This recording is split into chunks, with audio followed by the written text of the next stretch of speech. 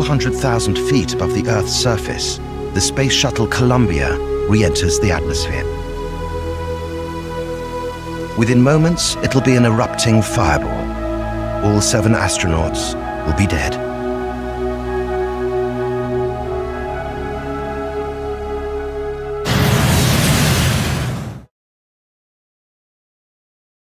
February the 1st, 2003.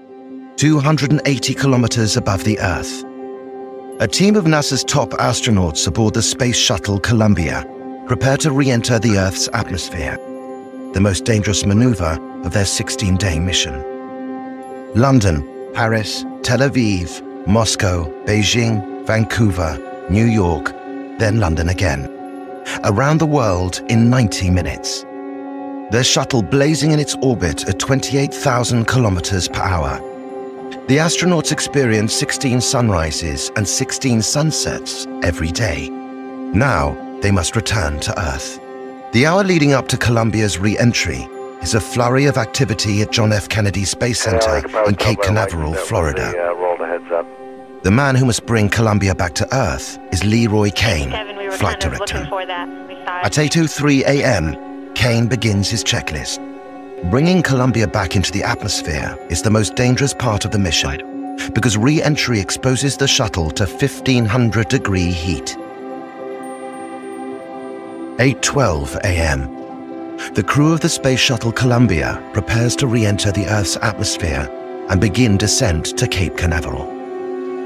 They are scheduled to touch down in exactly one hour, four minutes.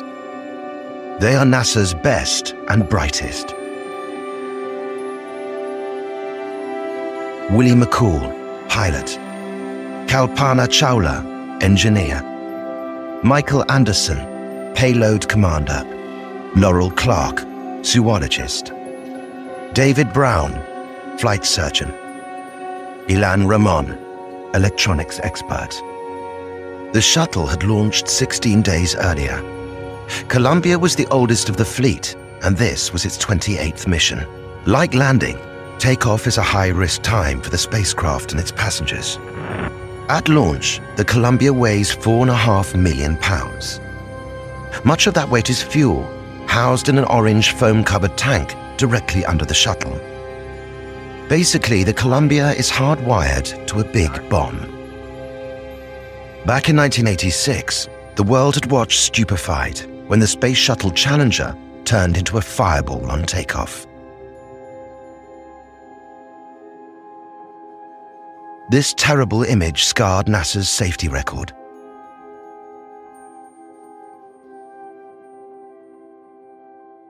Almost two decades later, as Columbia launched, the fear of another disaster lingered. Columbia's mission had been delayed 13 times over two years because of technical snags. But at last, liftoff. NASA had been under a lot of pressure to get Columbia into space after so many setbacks. The seconds which follow liftoff are the most dangerous for the mission as the shuttle fights to escape the Earth's gravity. The Columbia launch appeared to be a textbook success. The shuttle was in orbit 300 kilometers above the Earth, racing at 28,000 kilometers per hour. For an astronaut, it's a breathtaking moment. This mission was for space research. The shuttle bay was fitted with a science lab to conduct experiments designed to help scientists learn about long-term survival in space. The experiments ranged from tests on animals, fish and ants, to the study of weightlessness. One day after what had seemed a perfect launch, a team inspecting video footage discovered that a piece of foam cladding from the main fuel tank had come loose and hit the shuttle during liftoff. But there had been foam hits before. No one was unduly worried. 8.20 a.m., the countdown for Columbia's re-entry to the atmosphere is well advanced. But though the foam hit's been known about for two weeks, there's a consequence neither crew nor ground control are even now aware of. Two days into the flight, a piece of the leading edge of the left wing hit by the foam fell off. Unseen and unknown, there's a gaping hole in the shuttle's left wing. It went unnoticed at the time because from the command capsule on the Columbia, the crew could not see the wings. The shuttle could easily orbit in space with an undetected hole in its wing, but it would not be able to return to the Earth's atmosphere. Blissfully unaware, the astronauts held a video conference with Earth and the International Space Station the day after the piece of wing fell off. It's their day. And what we do is we gather, we try and pass on what we've learned from the uh, previous shift and uh, what the status of the various payloads is. And of course, we're getting ready to go home, so we're doing exercise and uh, even doing push-ups in order to be ready to feel good when we get back to Earth. Push-ups seem a little bit easier here for some reason. The Columbia was technically ready for touchdown at Cape Canaveral at 9.16 on February the 1st. No one on board the shuttle or on Earth had any idea that there was a gaping hole in Columbia's left wing, and the astronauts were doomed. Just over half an hour from their scheduled touchdown, all systems seemed perfectly normal on the Space Shuttle Columbia. Two minutes later, Columbia enters the discernible atmosphere, 400,000 feet above the Earth's surface. The utter cold of space gives way to intense heat on Columbia's hull. The temperature of the shuttle's wing soars to 1400 degrees Celsius. Unknown to anyone, the superheated air starts to enter the wing through the undetected hole.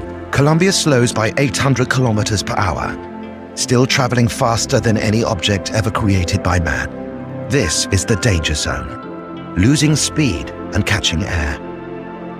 Inside the command capsule, the astronauts stare in awe at the raging heat outside the glowing windows. There is just one anomaly. A sensor on the left wing shows the leading edge is 1,650 degrees, 500 degrees hotter than ever recorded on a shuttle re-entry. At Mission Control, technicians are puzzled by the unexplained temperatures. These high temperatures are coming from the landing gear area of the left wing,